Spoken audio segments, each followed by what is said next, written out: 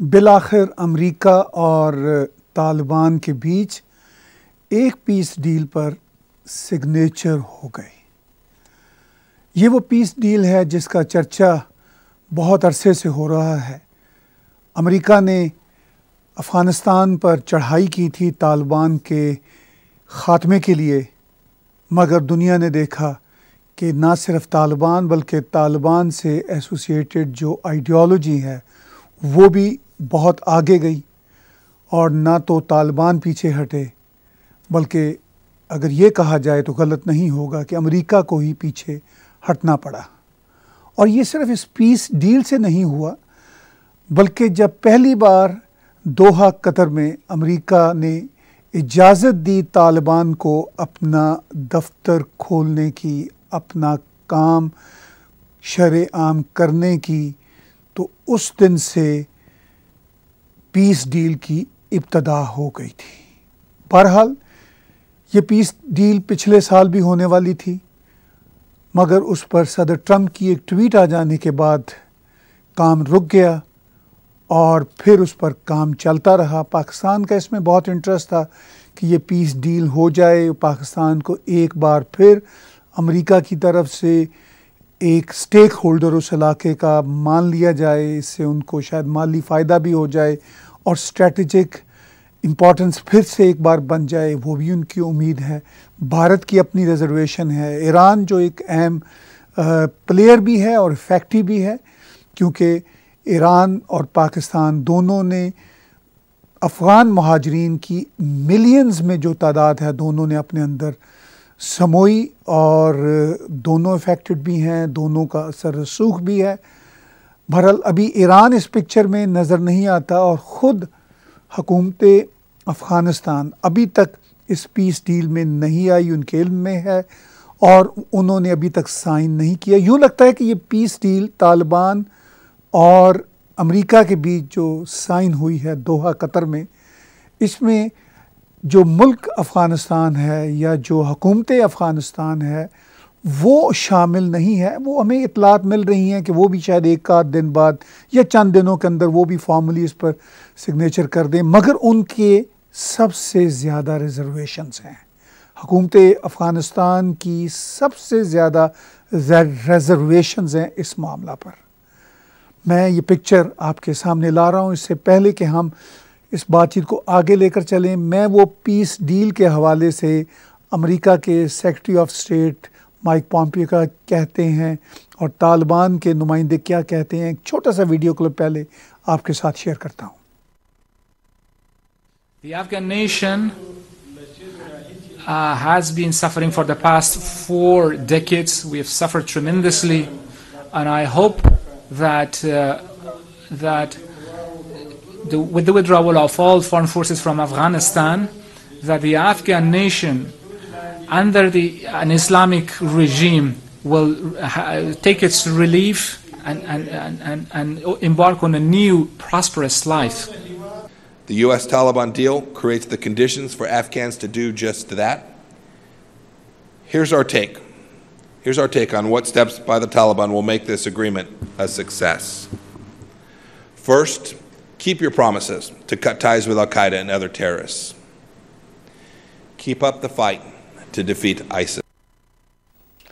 تو Mike Pompeo طالبان سے کہہ رہے ہیں اور امریکہ کی طرف سے ان کے ساتھ ڈیل پیش کر رہے ہیں اور سائن بھی کر رہے ہیں خلیل ظلم ذات بھی وہاں پہ ہیں جو پہلے ہینڈ شیک کر رہے تھے طالبان کے نمائندے سے تو مائک پومپیو کا کہنا ہے کہ اپنے پرومزز کو آپ کیپ کریں، اپنے وعدوں پر قائم رہیں اور اس میں ٹاپ جو پرومز ہے وہ یہ کہ القاعدہ سے اپنے ناطے توڑ لیں۔ خیر، یہ ایک انٹرسٹنگ بات ہے۔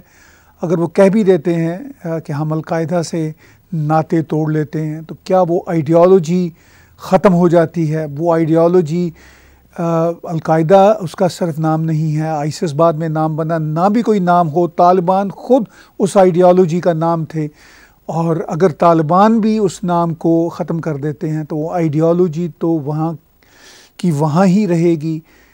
اس سارے معاملہ میں پوری دنیا جانتی ہے کہ امریکہ نے یہ پیس ڈیل طالبان کے ساتھ کیوں کی، کیونکہ صدر ٹرمپ کا وعدہ تھا کہ امریکی فوجی واپس لائیں گے۔ دس ہزار سے زائد ابھی بھی امریکی فوجی افغانستان میں ہیں۔ اور یہ طے کیا گیا کہ اگلے کچھ مہینوں میں بارہ ہزار ہیں غالباً امریکی فوجی وہاں پر، ان میں سے کم ہو کے کوئی ایٹی سکس ہنڈریڈ رہ جائیں گے اور دھیرے دھیرے وہ اپنے فوجی وہاں سے نکالیں گے۔ صرف وہی نہیں، بلکہ نیٹو کے جو ممالک ہیں وہ بھی نکال لیں گے۔ نیٹو میں ٹرکی کے علاوہ باقی جتنے ممالک شریک ہیں اکثریت ممالک جو ہیں وہ یورپین یا ویسٹرنرز ہیں۔ تو ان سب کا انٹرسٹ ہے کہ ان کے فوجی واپس آئیں، کیونکہ گزشتہ سال ہا سال سے طالبان کے ساتھ جو لڑائی چل رہی ہے، ہزاروں ویسٹرنر فوجی اس میں مارے جا چکے ہیں۔ صرف امریکہ کے دو ہزار سے زائد فوجی اس میں مارے جا چکے ہیں۔ تو اس ساری صورتحال میں ان تمام ممالک کا انٹرسٹ ہے کہ ان کے فوجی واپس آئیں۔ اس میں خیر کوئی بری بات نہیں، یہ سوچنا مگر اس علاقے میں جتنا میس ہوا ہے، کیا وہ فوجی واپس آ جانے کے بعد ایشورنس کیا ہے کہ کس طرح یہ ڈیل عملی طور پر چلے گی؟ پاکستان بہرحال اس میں ہمیشہ سے ایک انتہائی اہم پلیئر رہا۔ پاکستان پر ہمیشہ سے یہ الزام لگا کہ پاکستان نے طالبان کو سپورٹ کیا۔ طالبان کی وجہ سے وہ امریکہ سے پیسے بھی لیتے تھے اور یہی جو افغان جہاد کا کام تھا، جو بلا شبہ امریکہ نے خود شروع کیا تھا سوویتس کے خلاف لڑنے کے لیے، تو اس میں امریکہ بھی اتنا ہی شامل تھا جتنا پاکستان شامل تھا۔ نہ پاکستان کم شامل تھا، نہ امریکہ کم شامل تھا۔ دونوں کے انٹرسٹ تھے، دونوں اس میں آگے چلے۔ تو میس اس علاقے میں ہوا، جب سوویتس نکل گئے، اس کے بعد پاکستان کی انسٹال کی ہوئی طالبان کی حکومت وہاں پر بنی۔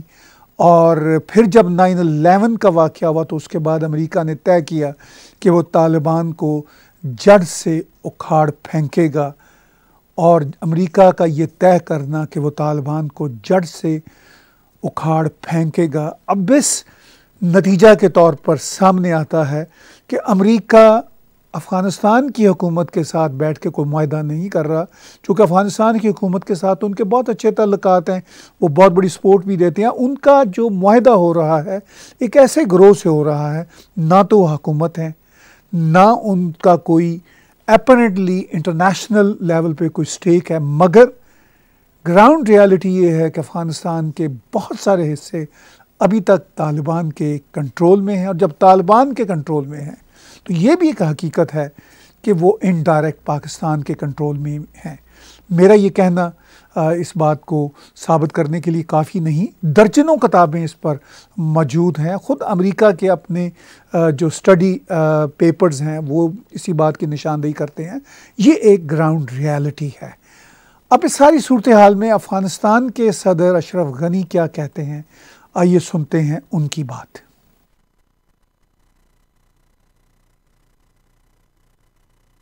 Secretary General Stoltenberg, distinguished guests. The tragedy of 9 11 brought us together. Mutual sacrifice created human bonds between us. Mutual interest, your security and our freedom, sustains our relationship in mutual respect, has made us partners. The BSA and the SOFA give legal expression to our transparent relationship. NATO and US partners have, ni- have spared neither blood nor treasure for attaining the goals of the partnership. We ask you to thank the veterans, especially the Gold Star families, for their selfless service. Our sacrifice has been immense, both in the martyrdom of the NDSF and our civilians. Children, youth in their prime, and men and women in all ages, in walks of life, whose lives were taken away by senseless acts of violence and terror in public spaces. Afghanistan کے صدر اشرف غنی یہ بات Doha Qatar میں نہیں کہہ رہے بلکہ اس معاہدہ کے ہونے کے آس پاس کے وقت میں افغانستان کے اندر کہہ رہے ہیں جب مائک پومپیو افغانستان کا وزٹ کرتے ہیں، چونکہ یہ بہت امپورٹنٹ پیس ڈیل ہے امریکہ کے لیے بھی اور انڈائریکٹ افغانستان کے لیے بھی اور پاکستان کے لیے بھی اور اس ریجن کے بہت سارے ممالک کے لیے۔ ایران چونکہ اس وقت بہت سارے مسائل کا شکار ہے اور امریکہ کے ساتھ ایک بہت ہی سرد مہری کے تعلقات ہیں ایران اور امریکہ کے۔ تو ایران اس پکچر میں ابھی سامنے کھل کر نہیں آ رہا۔ بہرحال صدر اشرف غنی نے بہت ہی کھلے الفاظ میں کہا، انہوں نے کہا کہ امریکہ اور افغانستان کا یہ ایک مشترکہ گول گول تھا کہ ہم نے ٹیررزم سے باہر کیسے آنا ہے۔ ہم نے اسی کے لیے آپس میں اتحاد کیا۔ اور اب ہم دیکھتے ہیں کہ چیزیں کس طرف جاتی ہیں۔ بہرحال افغانستان کی حکومت بھی جو اطلاعات آ رہی ہیں، اپنی ریزرویشنز رکھنے کے باوجود امن تو چاہتی ہے۔ اور ان کا بھی یہی ماننا ہے کہ طالبان بھی ایک سٹیک ہولڈر ہیں۔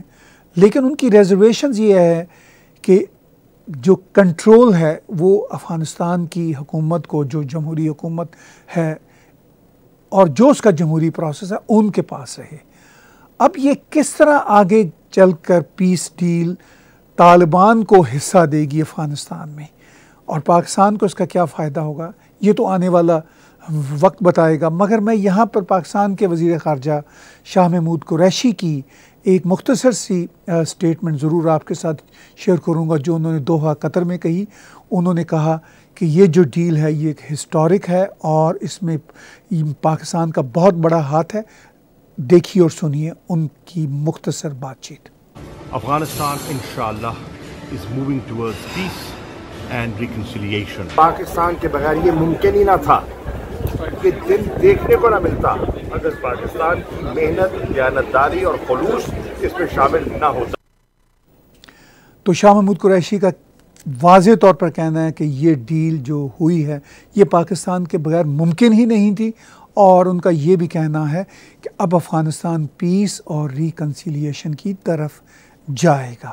پاکستان کے وزیر خارجہ کی جو باڈی لینگویج ہے، جو ان کی ایکسائٹمنٹ ہے، وہ بتاتی ہے کہ وہ اس پیس ڈیل پر کتنے خوش ہیں۔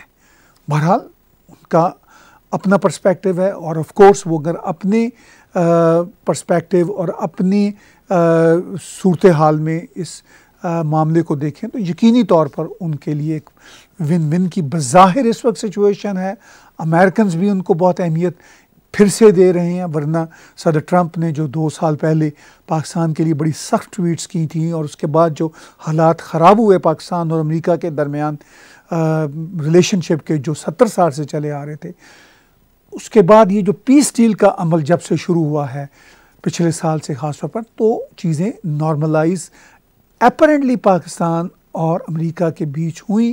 ابھی تک پاکستان کو ان نارملائز جو حالات ہیں پاکستان اور امریکہ کے، اس کا کوئی بظاہر بہت فائدہ نظر نہیں آ رہا، کوئی بڑی امداد نہیں ملی، بلکہ شاید چھوٹی امداد بھی نہیں ملی۔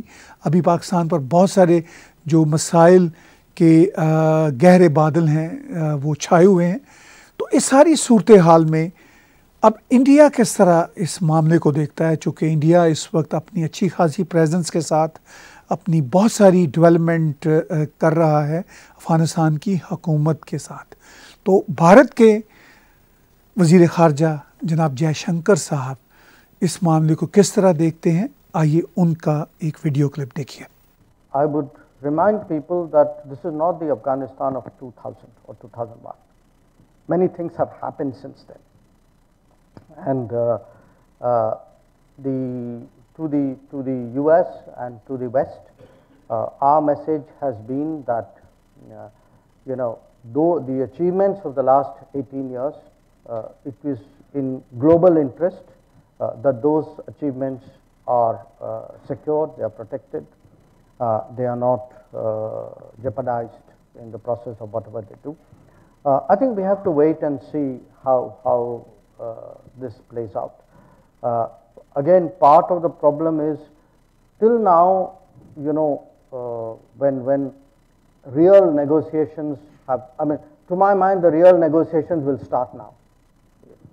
Uh, and then we'll have to see whether many of the assumptions that we had, uh, you know, uh, how, how cohesive are various players, uh, what do they do, what are their demands, you know, finally sort of uh, do, does Taliban join a democratic uh, setup or does a democratic setup sort of adjust uh, to, to Taliban? I think those are all issues which, uh, uh, for which right now there are no clear answers.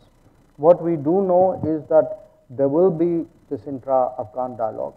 Uh, there is a lot of interest in various countries that the uh, neighbors of Afghanistan and those who have interests there uh, uh, also uh, play some role. Again, who plays what role will, will uh, take a little while to work out. but I would really, I mean, my most honest answer to you at this stage is, you know, you are watching that space, I am watching that space and that space is going to evolve.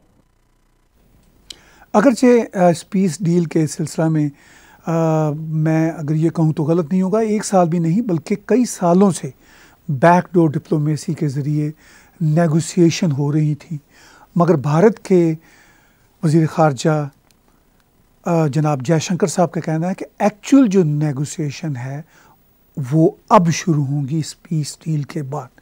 ان کے کہنے کا مقصد بڑا واضح ہے کہ practical جو negotiation ہے، جو پریکٹیکل جو اس کے آؤٹ کمز ہیں، وہ اب دیکھنا شروع ہوگی دنیا۔ اور ان کا بڑا واضح طور پر کہنا ہے کہ وہ کہتے ہیں کہ بہت سارے آنسرز ان کے پاس بھی نہیں ہیں، مگر یہ تو آنے والا وقت ان کو بھی آنسرز دے گا اور پوری دنیا کو بھی آنسرز دے گا۔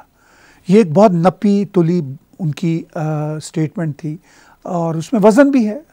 ایک سیزنڈ ڈپلومیٹ ایک سیزنڈ جو فارن افیئرس کے انٹرنیشنل ایشوز پر نظر رکھنے والا کوئی شخص ہو سکتا ہے، جیسے کہ جے شنکر صاحب ہیں، انہوں نے یہ بات کی۔ تو واقعی ہی ان کا جو کہنا ہے کہ یہ اب آنے والا وقت بتائے گا کہ یہ پیس ڈیل پریکٹیکلی کس طرح ثمرات لاتی ہے یا کس طرح کے رزلٹس لاتی ہے، خاص طور پر وہ ممالک جن کا انٹرسٹ ان میں ہے۔ یعنی افغانستان کے اس ایشو پر، اس پیس ڈیل پر، اور جب انٹرسٹ کی بات آتی ہے تو کینیڈا، امریکہ سے لے کر نیٹو فورسز خود افغان لوگ، پاکستان، بھارت، ایران، حتیٰ کہ چائنا اور روس کو بھی ہم کسی صورت نہیں بھول سکتے سینٹرل ایشیا تو دنیا کا بہت بڑا جو جو چنک ہے دنیا کے ممالک کا، وہ اس کا ڈیفینیٹلی اس میں انٹرسٹ ہے، حتیٰ کہ جاپان تک کا اس میں انٹرسٹ ہے، ان کی امداد جاتی ہے ان کی سویلائزیشن بھی وہاں پر موجود ہے۔ اور پوری دنیا اس افغان جنگ کی لپیٹ میں آئی تھی۔ اور اب یہ دیکھنے والی بات یہ ہے کہ امریکنز اور طالبان جو ایک دوسرے کے جانی دشمن تھے، بالآخر ایک پیس ڈیل کو سائن کرنے میں کامیاب ہو گئے۔ اور پاکستان کا یہ کہنا کہ ان کے بغیر ممکن نہیں تھی، یقینی طور پر پاکستان کے بغیر میں بھی سمجھتا ہوں کہ یہ پیس ڈیل نہیں ہو سکتی تھی۔ اب یہ اچھی ہے یا بری ہے، یہ تو آنے والا وقت بتائے گا۔ اس کا فائدہ کس کو کتنا ہوگا؟ جیسا کہ جے شنکر صاحب نے کہا، یہ بھی آنے والا وقت بتائے گا۔ اور سب سے اہم، افغانستان کی جمہوری حکومت اور افغانستان کے لوگ اس سے کیا فائدہ اٹھا پاتے ہیں؟ اس پر ہم بھی دیکھیں گے، آپ بھی دیکھیے۔ اور میں اس صورتحال پر گہری نظر رکھے، رکھوں گا اور جو جو ڈیولپمنٹ ہوگی آپ کے ساتھ شیئر کرتا رہوں گا۔ آج کا بلا تکلف تجزیہ طاہر گورا کے ساتھ دیکھنے اور سننے کا بہت شکریہ۔